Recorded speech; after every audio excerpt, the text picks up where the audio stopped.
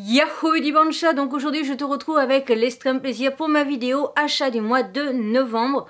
Donc si la suite t'intéresse, continue. Donc le mois de novembre, il faut savoir qu'il y a une espèce de challenge, en tout cas sur Instagram, de ne rien acheter. Moi je suis jamais dans ce principe de rien acheter, mais plus de limiter au maximum.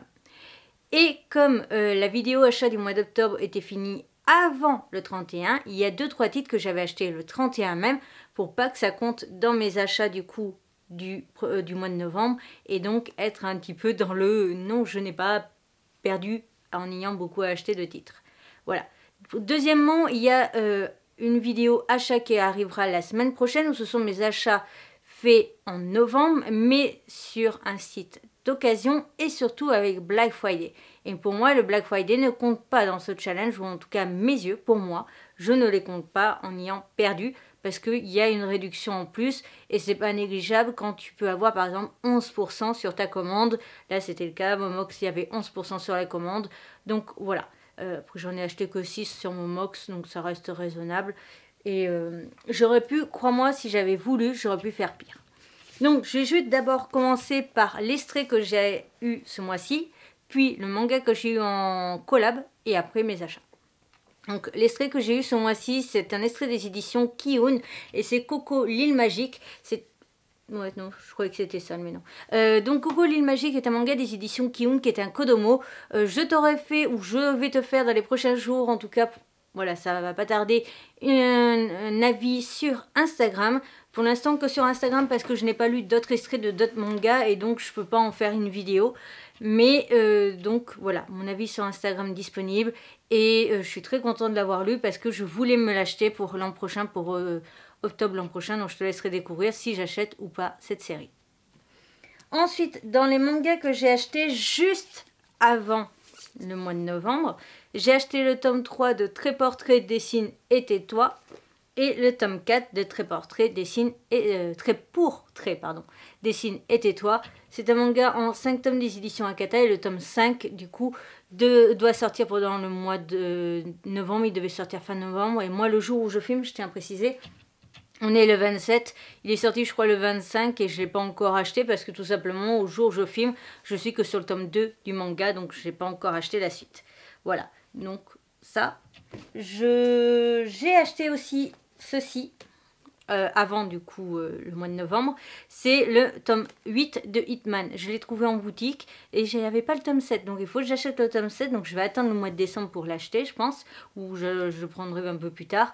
Mais voilà, donc ça c'est juste histoire de compléter la série, rien de spécial à dire.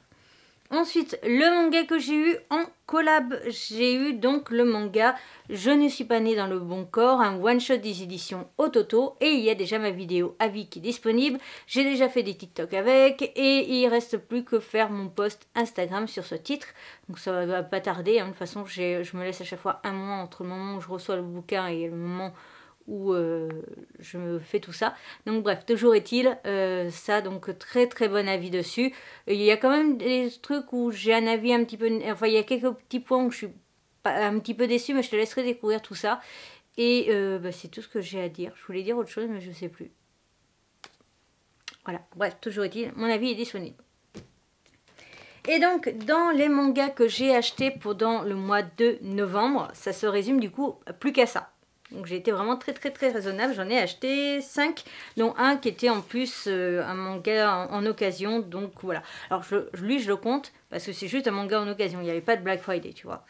Euh, donc c'est le tome 1 de Rosenblood. C'est un manga qui est, euh, qui est, sorti en septembre, si je dis plus pas de bêtises. C'est un shoujo des éditions Pika. Alors il me semble qu'une abonnée m'avait dit que c'était pas réellement un shoujo et que c'était juste Pika qui l'avait reclassé en shoujo, un truc comme ça. Peut-être que je me trompe de titre, mais toujours est-il.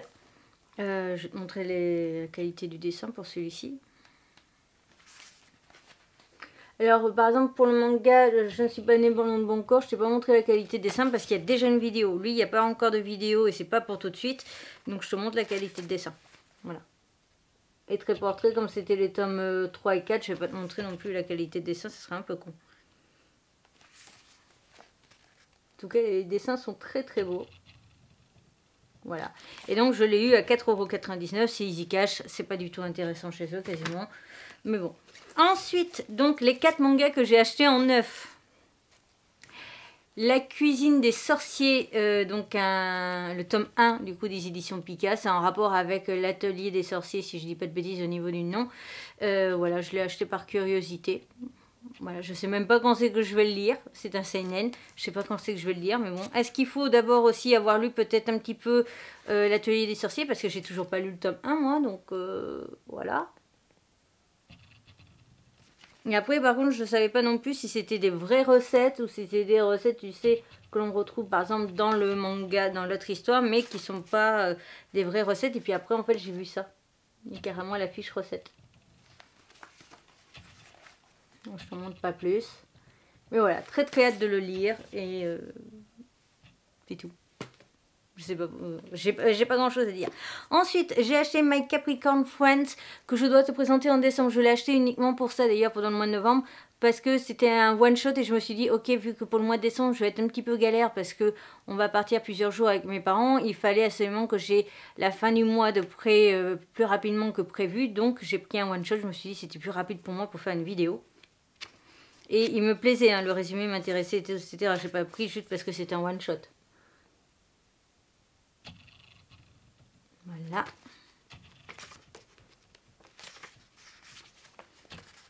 Alors ça parle de harcèlement scolaire et après je sais plus. Voilà. Ensuite, j'ai pris le tome 1 de l'étrange Noël de Zéro. Donc euh, le chien dans Monsieur Jack. Je l'ai pris pourquoi? Parce que déjà c'est un manga qui va être parlé de Noël. Je vais le présenter un petit peu avant Noël, comme ça ça te permettrait de savoir si tu dois l'acheter ou pas pour te faire une lecture Noël. La série est en 4 tomes, donc après les 3 autres tomes je te les présenterai pour euh, Noël l'an prochain. Hein, voilà. On reste dans le thème.